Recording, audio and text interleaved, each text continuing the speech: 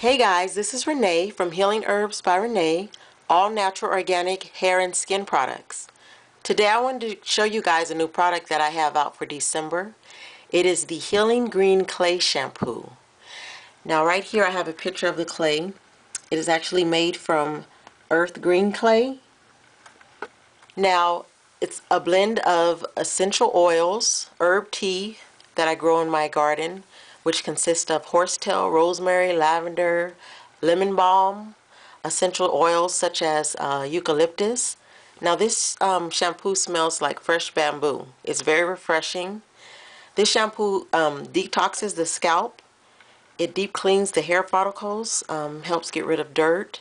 It's very good if you have oily scalp or if you have uh, seborrhea or uh, excessive dandruff problems. It leaves your hair clean and it does not over dry it. It leaves it moisturized.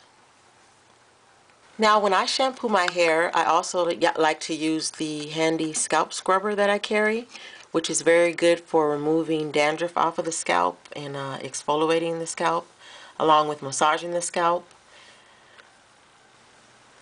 The Healing Green Clay Shampoo is available in sizes 4 ounce, 8 ounce, 16 ounce, 32 ounce, and I also carry the sample size which is a 2 ounce.